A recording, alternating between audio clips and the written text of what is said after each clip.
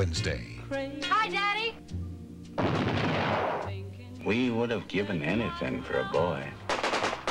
All I've ever wanted was your attention Well, now you've got it. and your approval. China Beach Wednesday.